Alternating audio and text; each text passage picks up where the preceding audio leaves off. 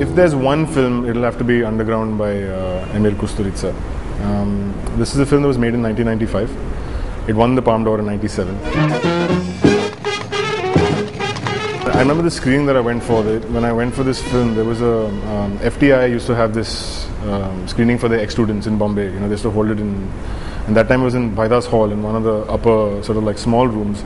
It was a 21, 21 inch TV, and they were playing off a VHS, and there must have been about 50 people watching this film on this 21 inch TV. I remember walking in and I'm saying, and I've heard of this film Underground. It's you know this, that, the other, and I walk in, and the screening starts, and this film's about two hours and 46 minutes long, and it's riveting.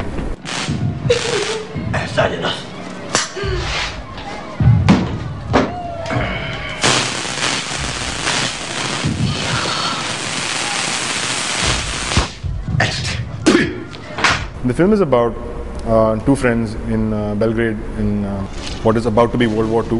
The bombing of the city starts, and these guys are they're thieves. They go out at night, and there's a band that follows them all the time, playing crazy music. They get drunk all the time. Um, they both fall in love with the same girl, and the war eventually hits. World War II hits Belgrade. Ivane! Golube! Pripremite za ovaj, drži kume. Drži kume. One of the friends betrays the other and sends him underground to live in a bunker with a whole bunch of other people, while he stays up with the girl. Moja soba. Opa! Da. And what he does is that every day after that, he plays a siren for them that the, the war has begun, and he marries this girl on top, and he keeps them underground for 40 years.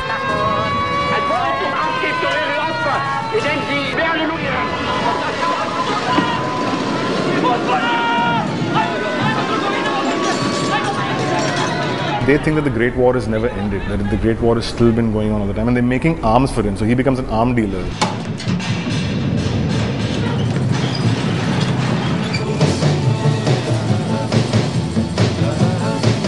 and it's a comedy.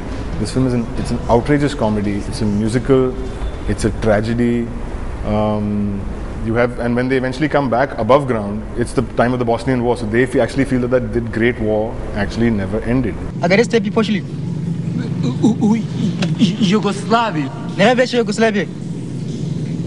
K- k- kako nema? Nema, nema veće Jugoslavije. There is a moment, for example, when towards the end of the film, these guys have been underground for 40 years, and uh, father and son, you know, the guy who's who's the friend who was put underground, he comes out and his son is with him, and they they come outside and it's night time and they're standing outside and the son looks up and looks at the moon and says, "Is that the sun?" And the father just looks at the boy, and you know, it's just the moment over there. And when you know this moment is coming, there's that sense of that sudden pathos that comes, and yet that scene is treated like a comic scene. Evo ga sunce. To je mesec, srećo moje. Mesec. And I remember why the reason that film changed my life is because I walked in at that point in time. I had had some sort of you know I had seen Bergman's movies and I had seen um, Fellini's movies and um, Kurosawa and you know, and I'd seen the masters and I'd seen Bimal Roy's films. So I had a sense of what you know what world cinema was. And this film just completely took me by shock because there was a sense of that you can make an epic uh, and have it topical that it talks about war and talks about the atrocities of war and talks about you know how people may take advantage of other people in war. And yet it's a comedy. And yet it's something you laugh at. And yet it's almost like a family film in a weird sort of way. And it's far far superior to life is beautiful Oprosti kume. Oprostiti Bogu, ali zaboravim Boga.